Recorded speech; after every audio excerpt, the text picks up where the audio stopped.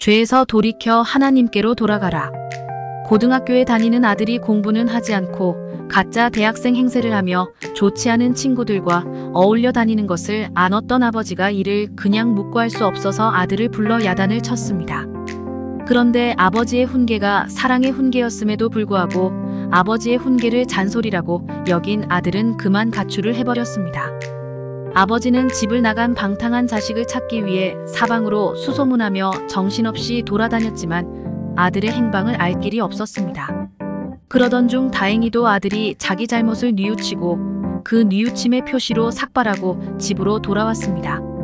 이런 아들의 모습을 본 아버지는 참으로 그 아들의 마음을 깊이 이해해주면서 아들을 받아들였습니다. 아들이 뉘우치고 돌아온 것에 감동한 아버지는 자신도 이발소에 가서 삭발했습니다. 아들은 아버지의 이러한 행동에 무릎을 꿇었습니다. 그리고는 다시는 나쁜 짓을 하지 않겠다며 아버지의 품에 안겨 통곡하였습니다. 예수님께서는 우리가 못났음에도 불구하고 죄를 지었음에도 불구하고 자식을 불쌍히 여기는 이 아버지와 같이 우리를 불쌍히 여기시고 사랑하시는 것입니다. 처음부터 잘못된 길을 선택한 것도 어리석지만 잘못된 길인지도 모르고 계속하는 것은 더욱 어리석은 일입니다. 그리스도인이라면서도 여전히 죄의 길을 가면서 그 길이 죄의 길인지도 모른다면 큰 문제입니다. 언제나 하나님 앞에 나와 하나님의 나라로 향하는 바른 길로 인도해 주시길 늘 기도하는 그리스도인의 삶에 대해 묵상해 보겠습니다.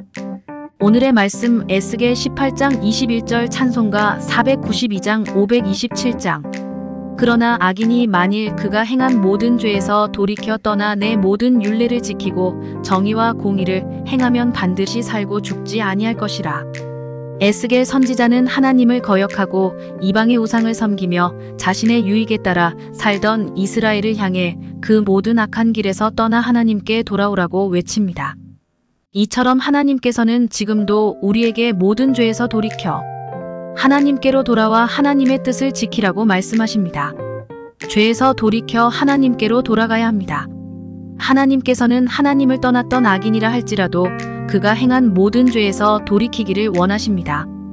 그들은 하나님께서 친히 내 백성이라 불렀던 약속의 백성이었기 때문입니다. 하나님께서는 하나님의 백성을 절대 포기하지 않으십니다. 하나님께서 원하시고 기뻐하시는 삶을 살아야 합니다.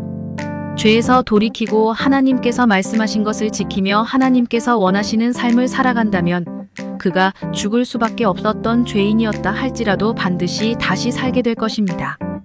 그러므로 잘못된 길을 갈 때 하나님을 기억해야 합니다. 하나님께서 원하시는 것은 악인이 돌이켜 생명을 얻는 것입니다.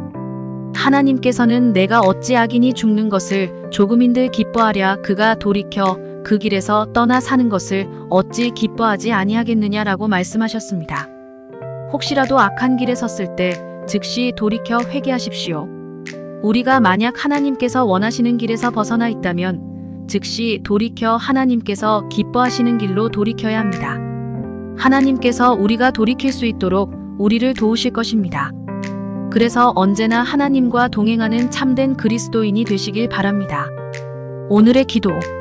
주님, 혹시라도 잘못된 길을 가고 있다면 즉시 돌이키게 하시고 악한 길에서 떠나 하나님께서 기뻐하시는 삶을 살게 하옵소서 예수님의 이름으로 기도합니다.